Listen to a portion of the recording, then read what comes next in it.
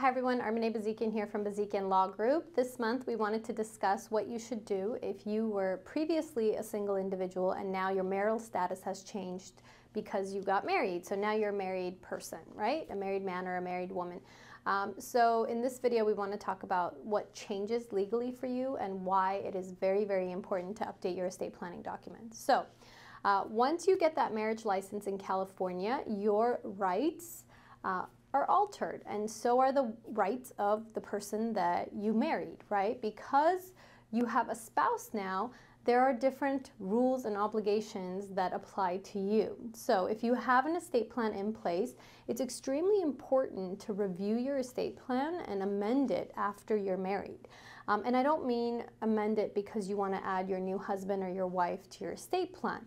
Even if you don't want to include them in your estate plan, even if you're not planning on giving them anything at your death, you still need to amend your trust document, right? You still need to go ahead and review and make changes to your estate plan.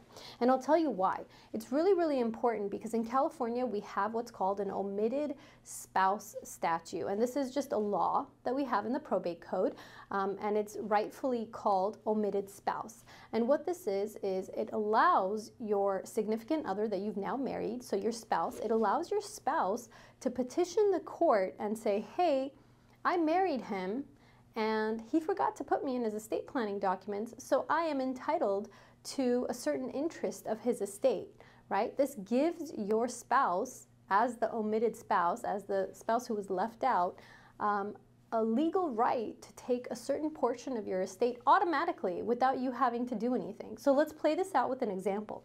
So let's say John was single. John came to me, we did his estate plan.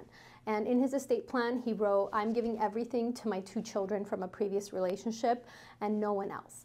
Then John calls me up and says, Hey, I'm getting married next year. And I say, Wonderful. We need to amend your trust when you get married. John forgets about me. He gets married, he goes off on his honeymoon, and sadly, um, I don't know, something happens on his honeymoon and he doesn't come back. He passes away. At John's death, right, his new wife after his death can actually file an omitted spouse petition with the probate court and say, hey, dear judge, I am legally the wife of John, and before we had a chance to come back from the honeymoon and update his documents, he died. So please give me what I am entitled to by way of the law. And in that case, it would be one third of John's entire estate, even the stuff that's in his trust, right? Because we just frankly have no proof that John didn't want to give her anything. So let's say John had told me like, hey, I don't want her to get anything. And I said, okay, when you get married, we need to update your documents. Like you need to sign it after the marriage. And John forgot about me, right? Even my testimony in court isn't really going to help her, uh, his kids because she is going to have a stronger case with this omitted spouse statute. So she's going to already just be automatically entitled. Um, so let's kind of play this out if John did it correctly. So let's say he got married, and before he whisked away um, and took his bride on his honeymoon, he came to my office and we signed a very simple amendment to his estate plan. And the amendment said something like, you know, I'm now a married man, but everything else in my documents stay the same. Nothing else changes. I just wanted to put on paper that my legal status went from single to married. That's it. Nothing else changes. I'm not giving my wife anything. My, my two kids still get everything in my estate he went and he passed away, his wife would not be able to file an omitted uh, spouse petition because even if she did, we have evidence of his mental state that he did not intend to give anything because he went in and he saw his attorney after his marriage date. We have evidence of after his marriage date of his mental intent to not give anything to his new wife or you know the spouse.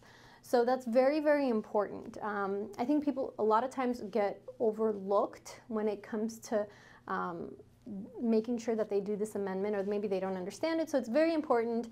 Um, if your legal status changes, you need to update your documents. And the same goes for divorce, but we'll talk about divorce in a different video. For now, the takeaway from this video is if your legal status has changed from single to married and you have an estate plan in place, you need to revisit and uh, change or possibly amend your estate plan post marriage, after your marriage date. After you say I do and your marriage license goes into effect, you need to sign an amendment uh, evidencing your wishes, whether that's to include your spouse, but most especially to exclude if that's what you wish, you have to have that done. So be very, very careful. Get it done correctly. Um, of course, our firm is happy to help whether you're our client or not and you have a trust in place and you want to make these changes or do an amendment to your estate plan. We'd be happy to jump on board and help you. So give us a call. We offer free consultations.